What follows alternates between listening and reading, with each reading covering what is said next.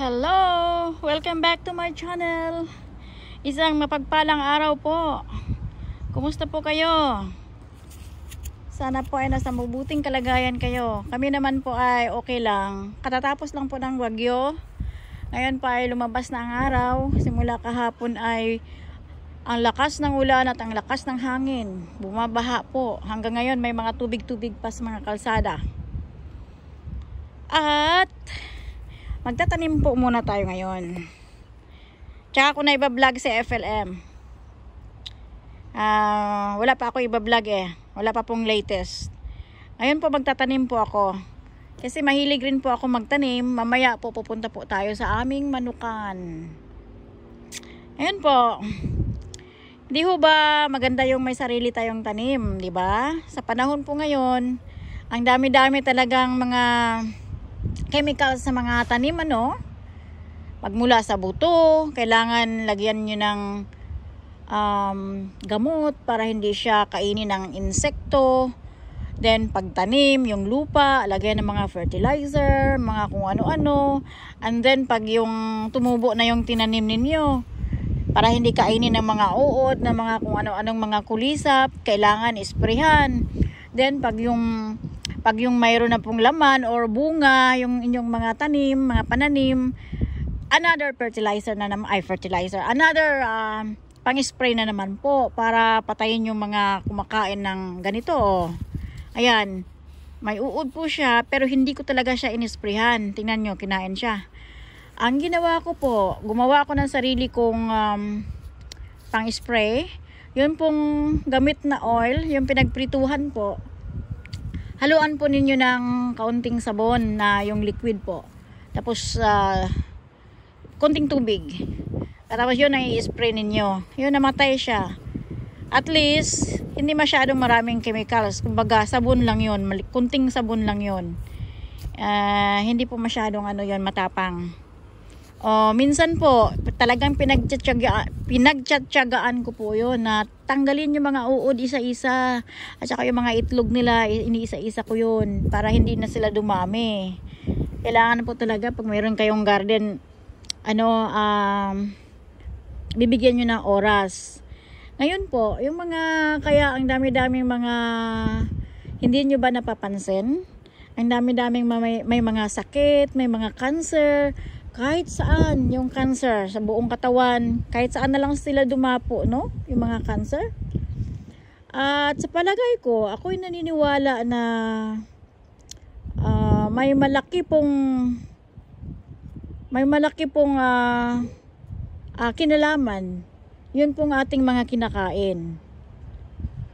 Kasi, yun ha, hindi ko natatapos yung ano. Tapusin ko muna yung sinasabi ko, yung tungkol dun sa mga chemicals nga nilalagay sa ating pagkain. Saan ba tayo?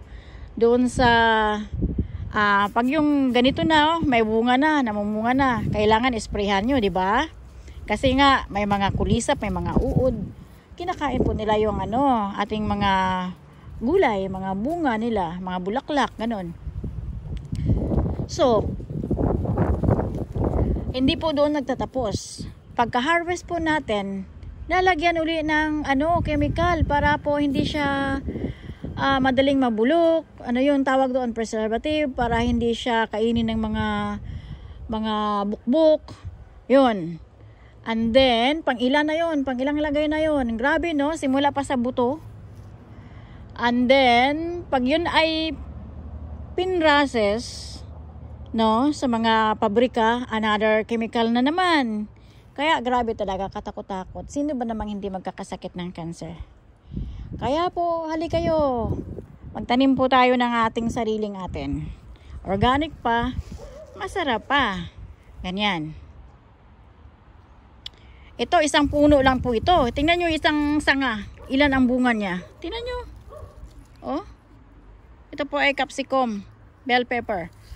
One, isang sanga lang yan. Two, lima po ang bunga niya. Isang puno lang po siya. 12 piraso ang bunga niya. Tingnan nyo na naman. Ito, garden bed ko lang ito. Maliit lang po yan. Ganyan. Tatanim po tayo ng bawang. Ito po. ito pong bawang na to, isang butil. Isang butil yan. Nakikita nyo, isang butil. Yan. Kung, papapa, kung papaano, nabubulol na ako. Kung papaano po magtanim, ito pong ugat. Yun po ang ibabaon nyo sa lupa. Ganyan. Tapos dito, dito yan sisibol eh. Nagkakaroon ng dahon. Tingnan nyo ha. Yung isang butil, pag siya ay nagkalaman, after mga 4 to 5 months po, pwede na siyang i-harvest. Itong isang butil na to, magiging isang buong bawang po yan. Okay? Ito, umpisa na tayo. Dito tayo magsisimula.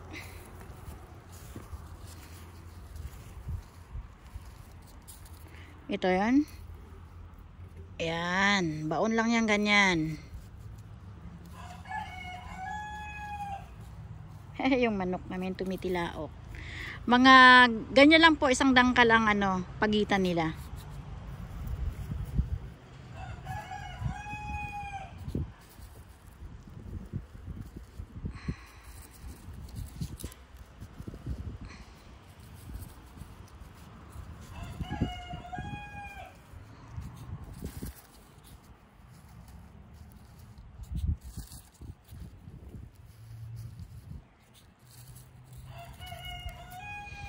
Mamaya po ipapakita ko sa inyo yung aking uh, tatlong buwang ano bawang. By uh, hopefully by next month akin na pong i-harvest yun. Mayroon na akong bawang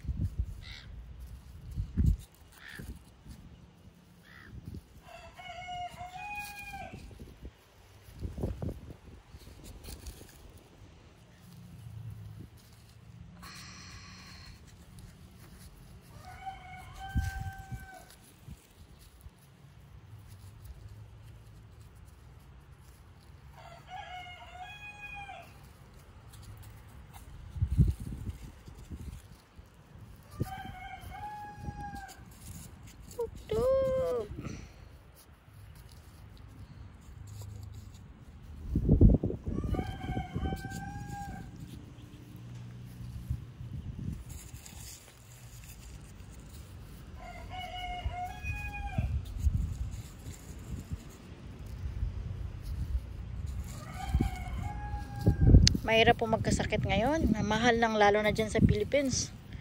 Ang mahal ng gamot, ang mahal ng ospital, ang mahal ng doktor. Kaya ano bang pipiliin niyo? Magsipag kayong magtanim para hindi magkasakit. Tsaka mag-alaga po kayo ng mga hayop para mayroon kayong ano, kakatayin, hindi na kayo bibili.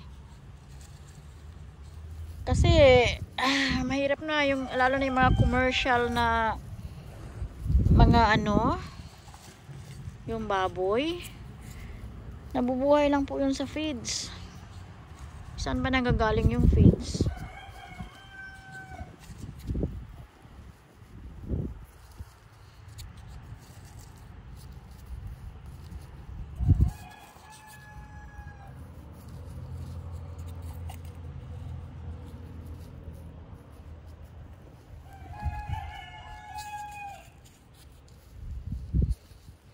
gutom na yata itong mga manok ko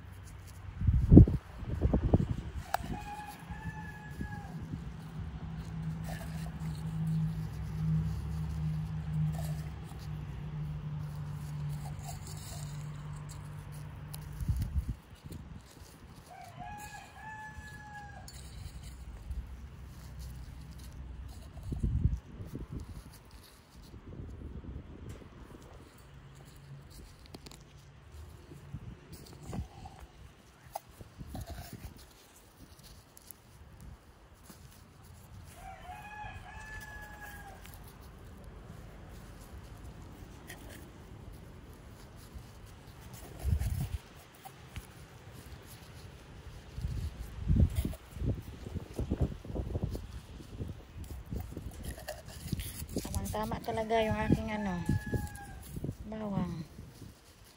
Tapos, di ba bilis lang naman magtanim? Oo. Sige na, magsipag na kayo. Ito, ipapakita ko sa inyo yung aking 3 months old na bawang. Ayan na po, yung ating bawang. Yan, lalagyan ko ng ano yan, karatula. Kung kailan ko tinanim. Ito po yung ano, spinach po dito. Ah, ang tawag dito ay silver beet. Yan, pwede nang malapit na yan. Ito yung ano, bawang ko po. Ayan. 3 months old bawang. Next month or mga 1 ano ba tayo ngayon? August. August 5. August, September.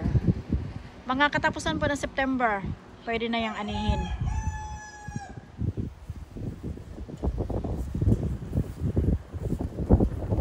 Itong, ito, magkasing edad lang po sila, pero iba pong variety.